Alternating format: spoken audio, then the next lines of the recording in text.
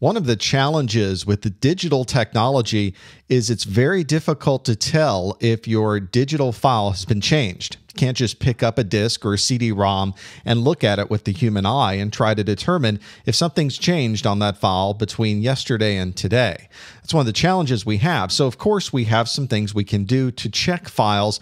And the easiest thing we can do, and probably one of the most accepted, is doing something like taking a hash of the file.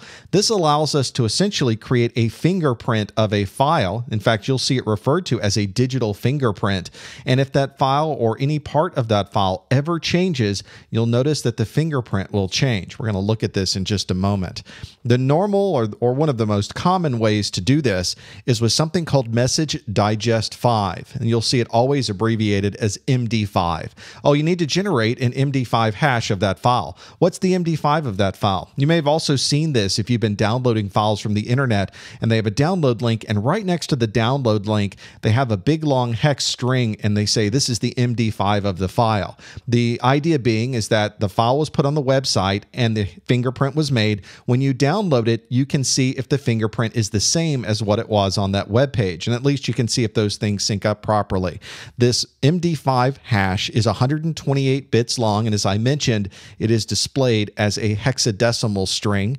There is an interesting chance of duplication, one in two to the 128th power. So we're talking about 230 billion, billion, billion, billion of a chance that a change to a file would be exactly the same as the fingerprint that was made originally. So, one of the things we can say is it's pretty impossible or eh, eh, relatively impossible to have some modification to a file and have the fingerprint turn out to be exactly the same. In reality, you're never going to hit this. The statistical odds are staggering.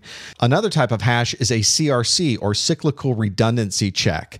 This is a much smaller type of check, it's only 32 bits long. Again, it is displayed as hexadecimal.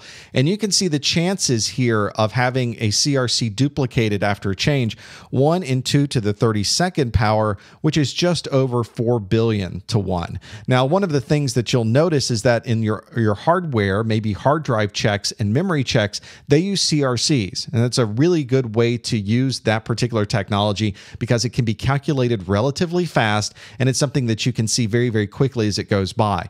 And MD5 5, because it is 128 bytes long, takes a little bit longer. There's a few more calculations that have to take place to be able to create that fingerprint. So you'll see most of the time when we're trying to verify that a file or an image is exactly the same as when we left it, an MD5 is really the one that's going to give us that flexibility. You'll very often see CRCs when you're looking at how hard drives are writing and checking their information, but rarely do we use a CRC from a security forensic standpoint.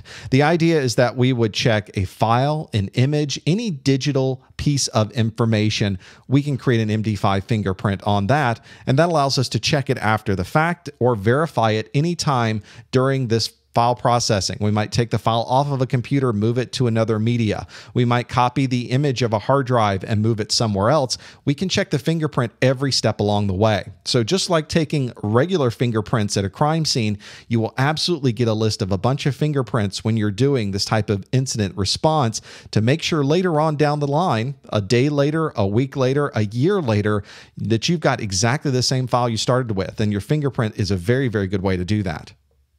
Let's see one of these hashes in action. I'm running on my Mac desktop here, but you could be on Windows. There's many utilities you can use to create MD5 on Windows and Linux and other operating systems as well.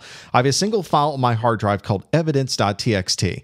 And in the Mac OS 10, I can simply do MD5 and the name of the file, and it will give me this hexadecimal representation of evidence.txt. So I know I can take that information, log it, make sure that I have it, and that way, if I want to check this file later, I can confirm that that evidence.txt MD5 fingerprint matches exactly what's here. But what if somebody changes the file? Let's change this file, evidence.txt, and say this file um, does not have important information. And let's save that. If I run the same MD5 check now, notice the fingerprint's very different. I made modifications to the file. And if you went back later and you said, wait a second, this evidence.txt MD5 hash does not match the one that was made originally, then you know this file is not the original file. Something has been modified. Now you have to figure out why something changed between the time when you grab the file and the time that you have it right now.